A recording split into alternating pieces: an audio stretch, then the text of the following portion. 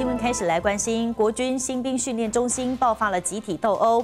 位在嘉义中坑的陆军两五拐旅新训中心，二十九号在进行三千公尺跑步监测时，有两名不同连的新兵互看不顺眼，前后爆发两次口角。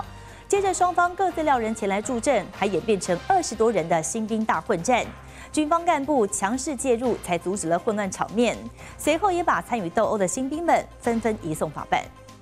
滂沱大雨下个不停，位在嘉义中坑陆军两五拐旅的新训中心，竟然上演了新兵大乱斗。事发在二十九号，当时正在进行三千公尺跑步检测，分属步兵连和火力连的两名军事训练役役男，互看对方不顺眼，起了口角。随后回到营舍前，再度冤家路窄，碰上了口角，演变成双方各自闹兄敌助阵，二十多人当场打成一团。最后是国军干部出面强。强势介入，双方这才停手。多名军事训练役男，二十九日上午在营内因事故发生肢体冲突，站台干部立即制止并严加管束。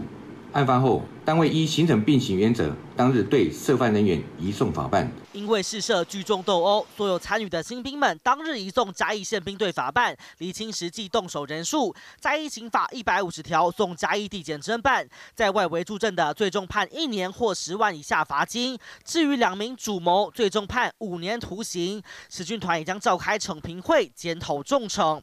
陆军十军团两五拐旅有军魂部队之称，只当四个月的军事训练役，还没打到敌人，拳头反先落在同袍身上。上个月在中坑新训中心才发生新兵拿铁盆斗殴事件，如今再爆新兵混战，对比即将到来的军人节，格外讽刺。这嘉义综合报道。